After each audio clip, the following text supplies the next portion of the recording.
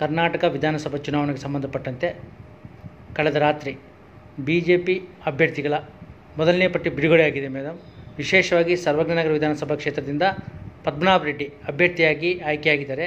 ಈ ಸಂದರ್ಭದಲ್ಲಿ ನೀವು ಮಹಿಳಾ ಘಟಕದ ಅಧ್ಯಕ್ಷರಾಗಿದ್ದೀರಿ.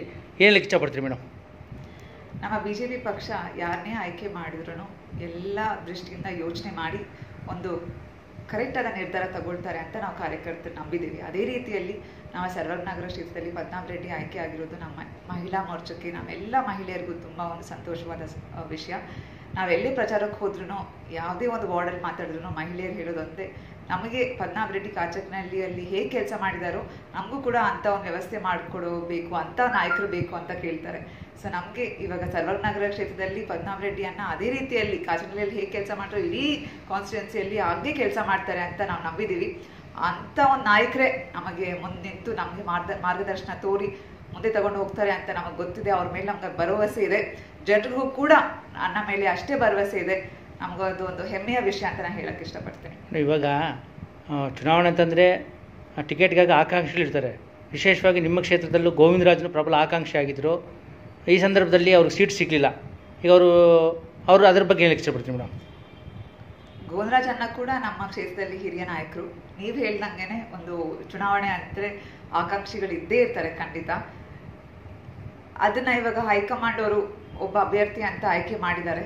ಅದನ್ನ ಗೌರವಿಸಿ ನಾವೆಲ್ಲರೂ ಸೇರಿ ಕಾರ್ಯಕರ್ತರಾಗಿ ಎಲ್ಲ ನಾಯಕರಿಗೆ ಒಂದೇ ರೀತಿಯ ಒಂದು ಗೌರವ ತೋರಿ ನಾವು ಎಲೆಕ್ಷನ್ ದೃಷ್ಟಿಯಲ್ಲಿ ಇವಾಗ ನಾವು ಕೆಲಸ ಮಾಡ್ತೀವಿ. ನಮಗೆ ಪಕ್ಷ ಹೇಳ್ಕೊಟ್ಟಿರೋದು ಅದನ್ನೇ. ಯಾರೇ ಒಂದು ನಾಯಕ ಆಯ್ಕೆ ಆದ್ರೂ ನಾವು ನಿಂತು ಕೆಲಸ ಮಾಡೋಕ್ಕೆ ನಾವು ಸಿದ್ಧ.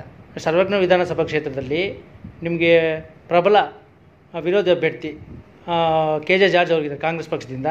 ಈ ಸಣ್ಣ ಗೆಲ್ಲೋ ವಿಶ್ವಾಸ ಇದೆಯಾ ಮೇಡಮ್? ಖಂಡಿತ ಇದೆ. ಅವ್ರಿಗೆ ಎಷ್ಟು ಬಾರಿ ಅಂತ ಅವಕಾಶ ಮಾಡಿಕೊಡ್ತಾರೆ ಜನ. ಒಂದು ಬಾರಿ, ಎರಡು ಬಾರಿ ಕೊಟ್ಟಿದ್ದಾರೆ, ಮೂರು ಬಾರಿ ಕೊಟ್ಟಿದ್ದಾರೆ. ಇನ್ನ ಜನರನ್ನ ಮೋಸ ಮಾಡೋದು ಸರಿ ಇಲ್ಲ. ನಾವು ಜನರು ಮೋಸ ಹೋಗೋದು ಇಲ್ಲ. ಜನರಿಗೆ ಅಷ್ಟು ಇವಾಗ ಖಂಡಿತ ದೇವ್ರು ಕೊಟ್ಟಂಗೆ ನಮಗೆಲ್ಲ ಬುದ್ಧಿಶಕ್ತಿ ಇದೆ. ನಾವು ಕರೆಕ್ಟಾಗಿ ಆಲೋಚನೆ ಮಾಡಿ, ನಮಗೆ ಯಾ ನಾಯಕ ಬಂದ್ರೆ ನಮಗೆಲ್ಲ ಸರಿಯಾಗಿ ಒಂದು ರೀತಿಯಲ್ಲಿ ಕೆಲಸ ಮಾಡ್ತಾರೆ ಸರ್ವಜ್ಞನಗರ ಕ್ಷೇತ್ರದಲ್ಲಿ ಅಂತ ಎಲ್ಲರೂ ಯೋಚನೆ ಮಾಡಿ ವೋಟ್ ಮಾಡೋಣ. ವೋಟ್ ಅನ್ನೋದು ಒಂದು ಚಿಕ್ಕ ವಿಷಯ ಅಲ್ಲ, ನಮ್ಮ ಪ್ರಜಾಪ್ರಭುತ್ವದಲ್ಲಿ ದೇಶ ಕೊಟ್ಟಿರೋದೊಂದು ದೊಡ್ಡ ರೈಟ್ ಅದು ವೋಟ್ ಫಾರ್ ರೈಟ್ ಅಂತ ಡೆಮೋಕ್ರಸಿಯಲ್ಲಿ ಸೊ ಎಲ್ಲರೂ ಕೂಡ ಯೋಚನೆ ಮಾಡಿ, ನಮ್ಮ ಒಂದು ವೋಟ್ ವ್ಯರ್ಥ ಆಗಬಾರ್ದು ಅನ್ನೋ ಒಂದು ದೃಷ್ಟಿಯಲ್ಲಿ, ಜಾರ್ಜ್ ಏನ್ ಕೆಲಸ ಮಾಡಿದ್ದಾರೆ ಅಂತ ಮತ್ತೆ ಆಲೋಚನೆ ಮಾಡಿ ದಯವಿಟ್ಟು ನೀವು ವೋಟ್ ಮಾಡಿ. ಮತ್ತೆ ಮತ್ತೆ ಪುನಃ ಪುನಃ ನಾವು ತಪ್ಪು ಮಾಡೋದು ಬೇಡ ಅಂತ ನಾನು ಸರ್ವನಗರ ಕ್ಷೇತ್ರದಲ್ಲಿರೋ ಎಲ್ಲ ಜನರಿಗೂ ಹೇಳಕ್ ಇಷ್ಟಪಡ್ತೀನಿ. ಪದ್ಮನಾಭ ಗೆಲ್ಲುವಂತ ಗೆಲ್ಲುವಂಥ ವಿಶ್ವಾಸ ಇದೆ ಮೇಡಮ್ ನಿಮಗೆ? ಖಂಡಿತ ಇದೆ ಅಣ್ಣ. ಒಳ್ಳೆಯವ್ರಿಗೆ ಖಂಡಿತ ಒಳ್ಳೇದಾಗುತ್ತೆ.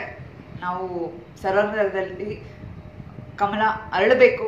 ಆ ಒಂದು ನಿಟ್ಟಿನಲ್ಲಿ ನಾವೆಲ್ಲರೂ ಕಾರ್ಯಕರ್ತರು ಒಂದಾಗಿ ಸೇರಿ ಕೆಲಸ ಮಾಡ್ತೀವಿ. ನಿಮ್ಮ ಹೆಸರು ಮೇಡಮ್ ನಾನು ನೀತಾ ಎಂ ಎನ್ ರೆಡ್ಡಿ ಅಂತ ಮಹಿಳಾ ಮೋರ್ಚಾ ಅಧ್ಯಕ್ಷ ಸರ್ವಜ್ಞ ನಗರ ಕ್ಷೇತ್ರ.